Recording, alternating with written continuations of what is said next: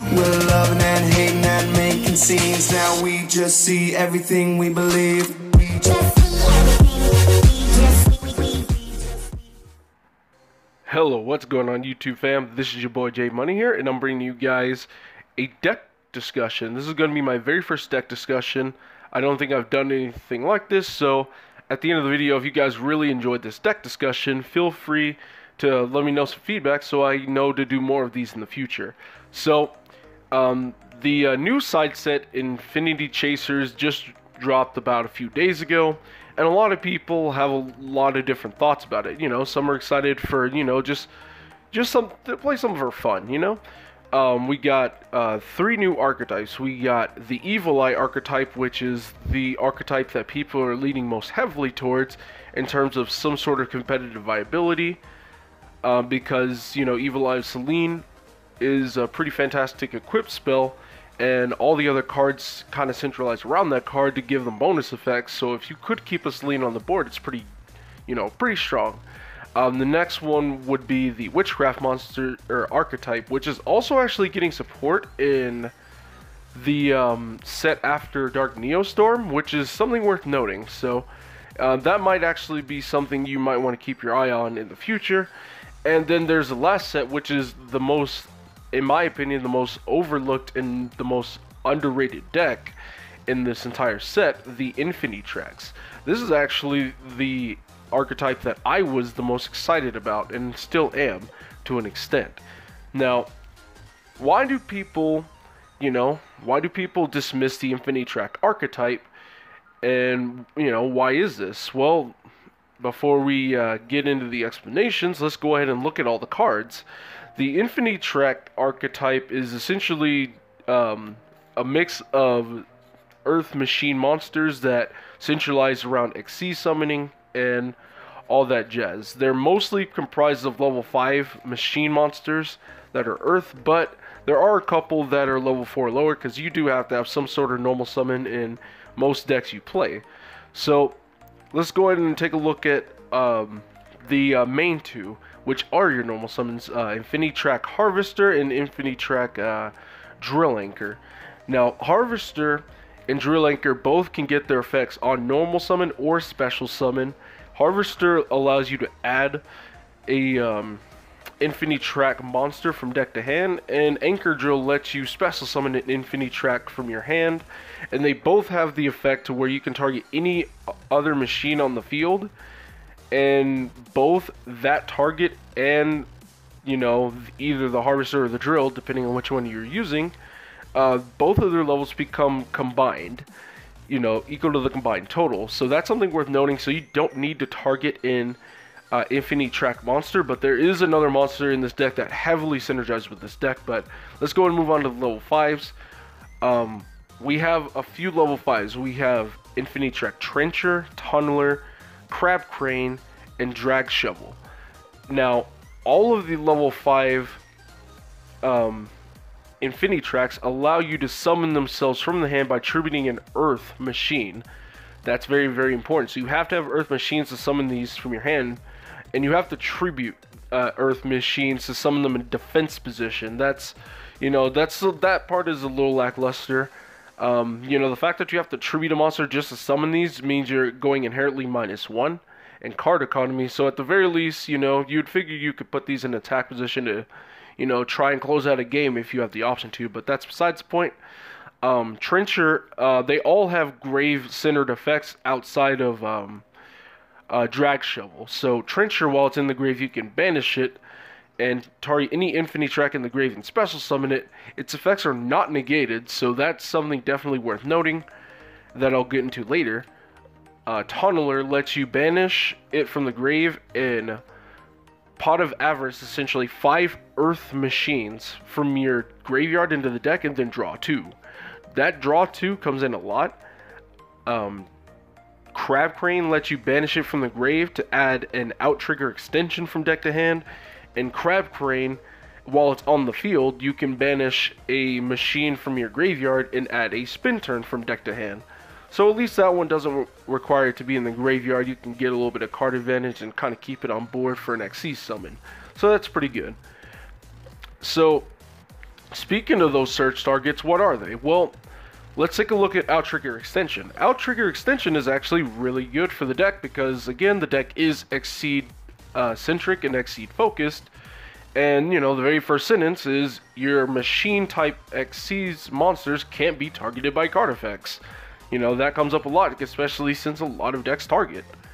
And uh, once per turn, you can target any um, Infinitrack monster and special summon a machine Xyz on top of it that is two ranks higher. But for the rest of the turn, you cannot uh, Xyz summon, or you can't special summon monsters, period, except Earth Machine monsters.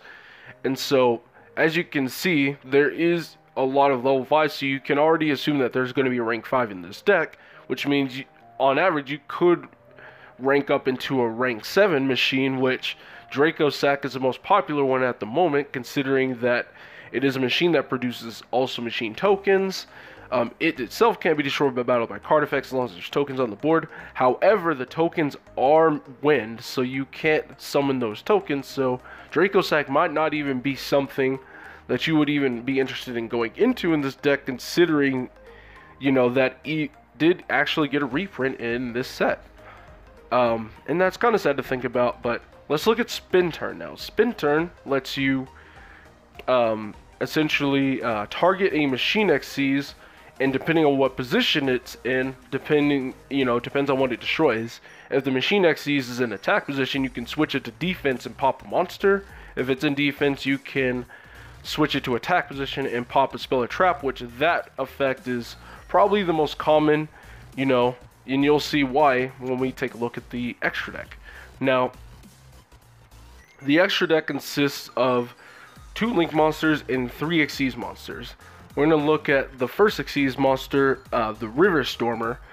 Infinity Track River Stormer um, does one of two things. Actually, all the Xyz do um, one of the same things, but they have a different first effect. River Stormer, you can detach material to either add an any Earth Machine from deck to hand or Foolish an Earth Machine from deck to grave. Mountain Smasher just detaches and boosts its attack by a thousand, and Earth Slicer, the rank 9, is, you know, honestly pretty strong for controlling the board. You can detach as many materials under it, target that many cards, and just destroy them. And that that's pretty decent. So, um, you can see how you can easily go into these cards, you know, looking at the first two cards, Harvester and Drill Anchor, and their level modulation capabilities. It's very, very easy to go into these. Now, we do have to look at the links um, there's two of them. There's Fortress Megaclops and Goliath, the Link 1. Now, Fortress Megaclops is probably not going to see any play because its, you know, condition to summon is incredibly, you know, it's incredibly steep. You need exactly three Xyz monsters to make this thing, and its effects are pretty good, but the cost of three Xyz, you're much better off just, you know, keeping your Xyz on board and just keeping you know, just keeping the board presence, if you will. But I do want to note that it does pay you back a little bit by monster reborning an Xyz from your grave and targeting a monster your opponent controls, special summoning that exceeds and just absorbing that other monster you targeted as a material. So that is something worth noting. But um, Infinitrack Goliath is the one that you're probably going to play two to three copies of. And there's a couple reasons for this. One, uh, it takes any Infinity track that's not a Link monster, so it uh, it essentially just enables you to you know summon more Infinity tracks other ways. Um, and when the card is sent to the graveyard, you can target any machine Xyz on the field and just attach it from the grave as a material. Now, how is this important? Well, let's go back to the all the Xyz for the Infinity tracks. All of their second effects enable you to tribute a machine link monster and summon them out of the graveyard in defense position. So, with that being said, you can it does enable you to essentially summon multiple Xyz on the board without, you know, committing multiple monsters into link 2s, link 3s, and things like that. So, while Goliath is also a material. The monster that is um, you know, that it's under can't be destroyed by card effects. And why is that important? Well, if we go back to the Outrigger extension, I did say that Machine Xyzs also can't be targeted. So if you have a massive Machine Xyz like Earth Slicer that can't be targeted or destroyed by card effects, now you're looking at a pretty difficult monster to deal with. Alright, so we went ahead and looked at all of these monsters. Now, they don't really do anything all that special. In fact, the level 5s are what you want to go for, but the problem with these level 5s is that they all require you to tribute Earth Machines to summon them, so you are taking minus 1s. So it's no wonder why this deck is severely overlooked and underrated. So why why do I have such high hopes for this deck? Well, um, out of all of the different archetypes in this uh, set of Infinity Chasers, Infinity Tracks have the most indirect support uh, out of all the archetypes, simply for the fact that they're machine-based archetype and they're Earth machines, which have a whole different set of support of their own. And I'll go into all of that in just a second, but there is one thing that I do want to mention, and that is the fact that this deck really, really complements the rank 10s. Both it and the rank 10 train archetype, they both complement each other very heavily and they both cover each other's weaknesses. Now, what do I mean by this? So, the rank 10 machines, as we all know, is an incredibly good OTK based strategy, but it has a very subpar time going first. Infinitracks by design is meant to, you know, control the game state and control the board, so it has pretty good going first capabilities, but it has subpar going second capabilities. So if you find a way to combine these two together, well, you got a very, very good, you know, got a very good thing going for you. And I've, you know, messed with this quite a bit, you know, for the past few days, and I'm really, really liking it. So, um, let's go and mention a few things just right off the bat. First off, can I just say that Machina Fortress really is really, really strong in this deck? I'm not even kidding. Machina Fortress in this deck is absolutely fantastic. Um, it actually makes going into your rank 9 to much, much easier. So, there's that. And because Infinity Tracks covers the weakness of the rank 10 trains to where you can go into rank 5s, 7s, or 9s not only that, but they are machines at the end of the day. So you can go into things like Cyber Dragon Infinity and, you know, other rank 9s like True King of All Calamities. Keep in mind, you're not restricted into just summoning Machine Xyzs. So, you know, there are times where you can easily put up both Infinity and Calamities on the board turn 1. And that's pretty solid even in this game state. Uh, because Calamities against a deck like Salamangreat can outright just win you the game sometimes. And uh, with a card like Infinity to protect your calamities, you know, that can just spell game over. But anyway, um, how does these how does this archetype work with the rank 10s in specific? Well, um, there's about three key, no, four key cards that really, really synergize with the Infinity tracks themselves. First is the field spell, um, being the um, I keep forgetting what the field spell is called, but the one that lets you discard a card and add a level 10, or if a level 10 is normal or special, you can special summon a any Earth machine that's level 4 or lower from the deck. Its effects are negated though, and its level does go to 10. But, you know, things like that can be important for the fact that you can summon out your Harvester, and if you have a way to get to your Trencher later on, you can re Monster Reborn the Harvester and get you a Search. Um, now, the two level 10s you would end up using in this deck normally is your Derricrane and your Speedy um, Express Bullet Train. Those two in general are the ones that you're going to use the most. Uh, again, you know, you can go into Gustav, you know, with these cards, and then go into your um, Liebe, which is also accessible through your um, your Earth Slicer, surprisingly, with Outrigger extension because Earth Slicer is a rank 9 and Liebe is a rank 11. And, you know, Liebe is an Earth machine. So that's something worth noting there. Um, and then the last one is the newly introduced level 4 of the um, the rank 10 train support, which is the uh, I forget what it is. It's the Pegasus, the Flying Stampede Pegasus guy. You know, when it is normal or special summoned, you know, you get to target any Earth machine in your grave. It doesn't even have to be level 10, and you do special summon it, and you can target it, or you can target the monster, and you can make it either level 4 or you can make both levels um, equal to the monster you targeted.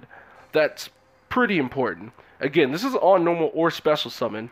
Same thing with um, Crab Crane, which they're both level 4 Earth machines, and, you know, the main ones are level 5, which means that, you know, these two synergizes very heavily with a card like Downbeat. Downbeat essentially enables you to access either your drill or your Pegasus very, very easily, and they can both get their effects considering you can trigger them on special summon. Now, I do want to mention, I want to continue to mention that this is an Earth Machine archetype. Not only that, but A, you got cards like. There's so many different cards. The reason why this deck is so underrated is because it has so much synergy with so many different cards. Look at this archetype. You have a lot of different monsters that are under 500 attack that are machine. You have a lot of earth machines. You know, a lot of them have either 500 attack or 500 defense or 2100 attack or 2100 defense. Um, i am pretty sure you guys know where I'm going with this. Like, there, there's so many cards that can easily be played in this deck to kind of compensate for the weaknesses is not even funny. Again, Downbeat was one of them, but you also have cards like Urgent Schedule, Again, Earth Machines, you know, there's level 2 and belows, or level 4 and lowers, and there's level 5 and highers in this deck. You can easily urgent schedule two monsters out. Machine Duplication, that is a huge one. Harvester and Trencher both are under 500 attack on this one. Um, if you can find a way to access any of those and you resolve a machine dupe, you probably just won that game.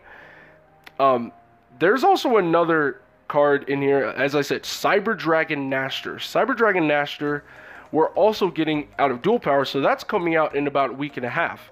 Cyber Dragon Nachster is also incredible for this deck, considering that it is like a Galaxy Soldier in terms of its summon condition. You just discard a monster to summon it, but if it is special summoned, you can target any machine monster in your grave that is either 2100 attack or 2100 defense and you just special summon it to the field. Its effects aren't negated either.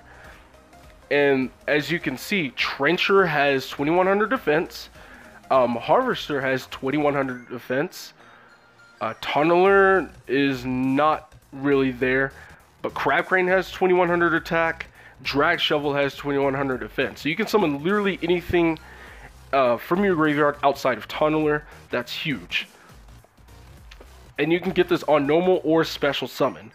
Next, um, th there's another package, and there's two packages that heavily synergize with this deck. One being, surprisingly, the Ancient Gear package. The Ancient Gear package is pretty, pretty special in this deck. Um, most notably, the card that you're probably going to be using is Ancient Gearbox. Ancient Gearbox is essentially an extra search remember, you can search any Earth machine with River Stormer. So if this card is added from deck or graveyard to your hand, you can reveal it, and you can add any Earth machine with 500 attack or 500 defense straight from the deck.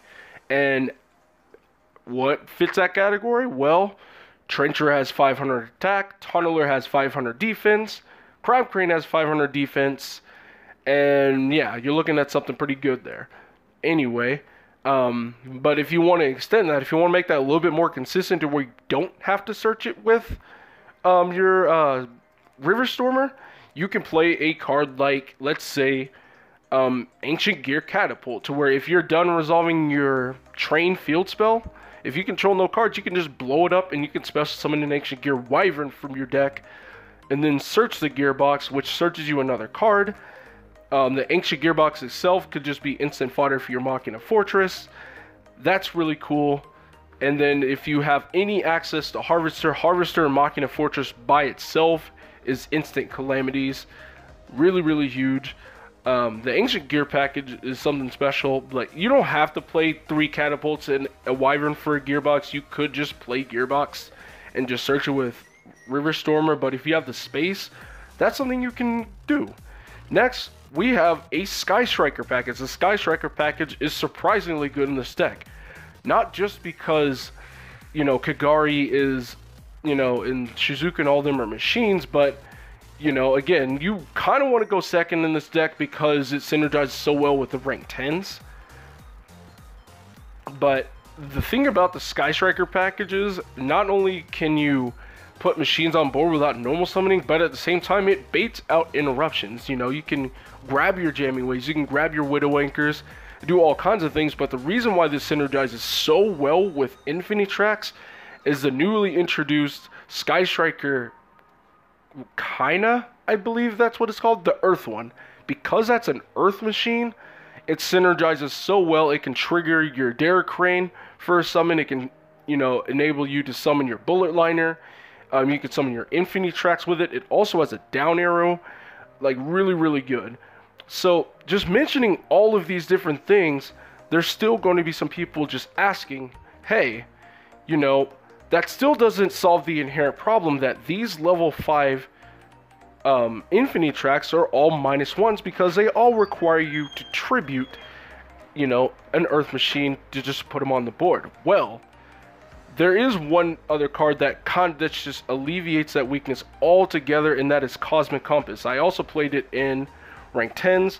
This card is absolutely phenomenal. Going second, it completely alleviates that issue. It just gives you the free materials and the free bodies necessary to essentially just compensate for that weakness so you don't have to tribute off your harvesters, so you don't have to tribute off your Machina fortresses.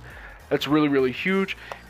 And even if you don't need the tokens uh, for anything to drop out of your hand because all your level 5s are on the board, you can easily use those extra tokens and the compass itself to step up into something like you know, Platinum Gadget, something we're also getting in Duel Power alongside Cyber Dragon Nachster.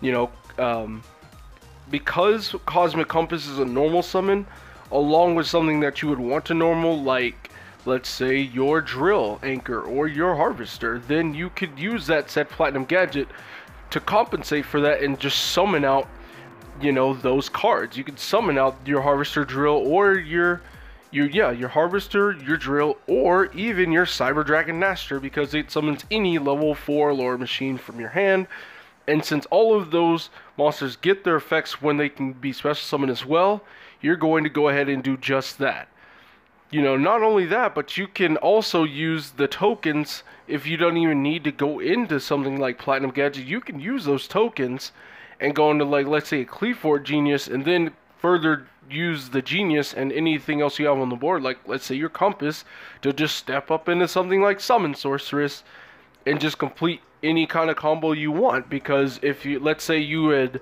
access your Derricrane off your field spell and you dropped it after you summon, let's say your compass, you can use your summon sorceress and target the Derricrane and summon your bullet train and make a Gustav and make leap from there and then just kind of just win the game from there. Or, you know, you can let's say you had like a Machina Fortress and you discarded, let's say, your Harvester. Or let's say you actually resolved your urgent schedule and you summoned your, let's say, your Machina Fortress and your Harvester, whatnot. And you get your compass and then you use Harvester or whatnot and you step up into something like Summon Sorceress well, you can sit there, and if you have accessed your trencher at some point, or if you've, like, let's say, discarded trencher for Machina Fortress, or if you sacked off a token for trencher and then used the trencher to link into Summon Sorceress, you can banish the trencher and just summon your harvester, get a, a search off of it because you know you haven't searched yet. Then you Summon Sorceress to summon, let's say, Machina Fortress straight from the deck and you have your True King of all calamities play right there if you're going first, or if you have a level five on the board that you can summon Sorkin, you can make Cyber Dragon Infinity from there. It's there's literally no limit to what uh, a card like Cosmic Compass can just enable you to do in a deck like this. But again, this is a card for going second because it is literally a Phantom Skyblaster in reverse to where you summon tokens up to the number of monsters your opponent controls. Now, generally, you're going to bait out most interruptions before Cosmic Compass even hits the board, so that's something you wouldn't need to worry about. Now, you know, saying all this, you know, when your opponent does see something like an urgent schedule, or if they do see something like, let's say, a Cosmic Compass, they can kind of deduce that you're probably playing a deck that wants to go second, and so they might make you go first, and cards like those can be extremely dead. Well, you know, even in a deck like this, because remember, this is Infinity Tracks, so Infinity Tracks also has a good going first game, as long as a good graveyard resource game. You can sit there and just, let's say, if I am anticipating my opponent making me go first, I can just easily side out those compasses and side out those urgent schedules and side into something like Iron Draw to where I have a platinum gadget on the board with the Cyber Dragon Infinity, and I can play Iron Draw and just draw me into more side cards, like let's say Barrage Blast, you know, which is also even more interruptions, you know, that you can, you know, put on the board against your opponent. So, you know, sometimes that Cyber Dragon Infinity and that Calamities isn't enough. Sometimes your opponent can still kind of put something on the board. And thanks to Infinity summoning on top of Nova, you'll have more materials than normal to detach from not and still having a gate left over. You can at least blow up two cards and still having a gate uh, with Infinity and probably absorb another card next turn. So, you know, Barrage Blast is a great side deck card for, for a deck like that for when you know you're about to go first and you just play some Iron Draws to, you know, further help you draw into it.